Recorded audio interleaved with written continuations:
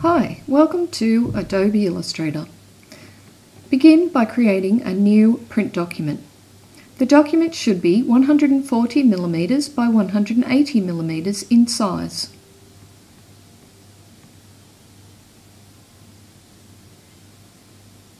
Using the magnifying glass and holding in the Alt or Option key, zoom out and position your workspace accordingly.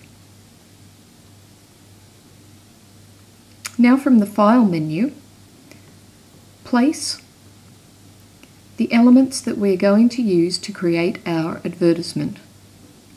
Begin with the text and drag it to the side of your workspace.